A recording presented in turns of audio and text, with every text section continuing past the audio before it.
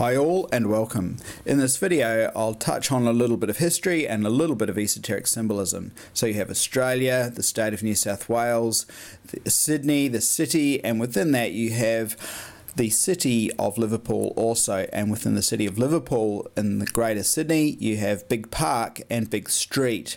Now Bigge Park and Bigge Street were no doubt named after John Bigge. John Bigge arrived in New South Wales in 1819. Now, Australia was sort of established uh, from the point of view of colonisation from England and convicts and all the rest of it. It was established in 1788. So, John Bigge arrived in uh, 1819 and uh, he was basically there to monitor what uh, Governor and Freemason Lachlan Macquarie was doing. And they were out of sorts with each other because Bigge wanted uh, more of a, a, harsh climate for the uh, convicts, whereas Freemason Lachlan Macquarie had a more integrative approach. And I'll just leave it at that a more lenient approach. So there was a big disconnect there. Under Freemason Lachlan Macquarie, Australia wasn't being fashioned into the harsh penal colony that the powers that be in England so desired of the time. John Bigge was more of a the from the aristocracy, if you will, from England. Lachlan Macquarie was more of a, uh, a professional soldier, but uh, it came from a sort of more humble background and wasn't as much part of the establishment, if you will. You could think of him as more humane. Now, aside from all that, you have the Liverpool Asylum. These days it's a teaching college at TAFE, but nonetheless, back in the day it was an asylum, a men's asylum. And in the early days of the penal colony and the greater uh, colony, there were far more men here due to the convict nature of the colony.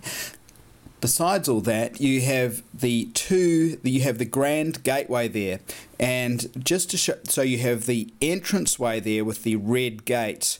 Now that would be where a, a participant could stand, if you will, strangely enough, with the red aura there. But also you have those two outer sort of windows, but really they are doorways as well, and it's quite subtle. And you can see the kind of recesses going in, and I would suggest that they are indicative of the aura of the participants at the sides. Aura of the participants at the sides.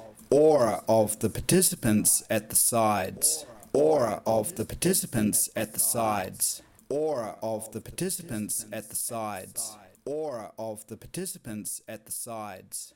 I would suggest that they are indicative of the aura of the participants at the sides.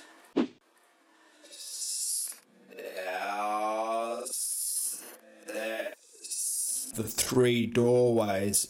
Now you'll notice in the background that you have the uh, sort of tower there, and that would have Jacob's ladder going up and all the rest of it. You also have this repeat of the three doorways, even though there are further ones, uh, but you have the larger one in the center with the slightly smaller ones to the outside.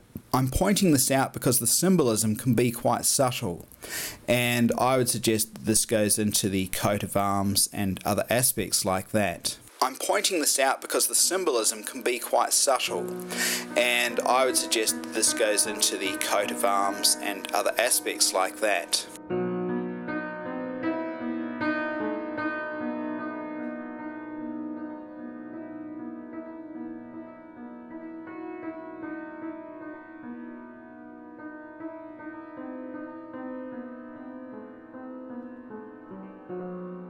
So I just thought I'd make a few mentions of things. Goodbye for now.